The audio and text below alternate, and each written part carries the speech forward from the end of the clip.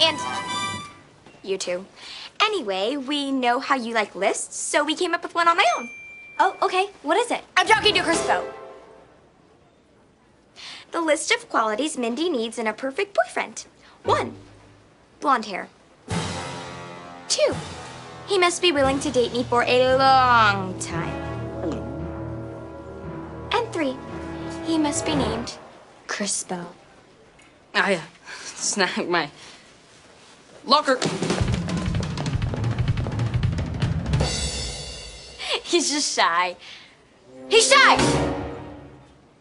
This is so not over.